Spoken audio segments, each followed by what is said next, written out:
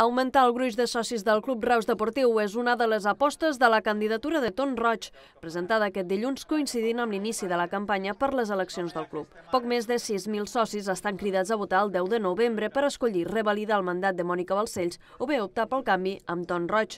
En la presentació del seu programa, Roig ha apuntat que buscarien un refinançament del deute del club, a la vegada que ha assegurat que un dels projectes que tenen entre mans és cobrir les pistes exteriors de les instal·lacions reusenques.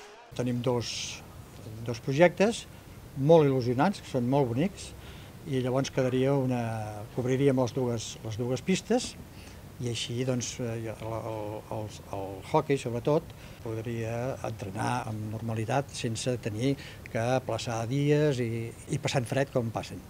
Paral·lelament i en relació a l'inici de la campanya electoral, l'equip de Roig ha demanat que aquesta sigui neta després de l'episodi viscut la setmana passada, quan, segons asseguren, l'altra candidatura presentada va començar-la abans d'hora. Malgrat que en una primera reclamació la Junta Electoral va donar-los-hi la raó, no ho va fer en la segona. Davant d'aquesta situació, accepten la resolució sense estar-hi d'acord.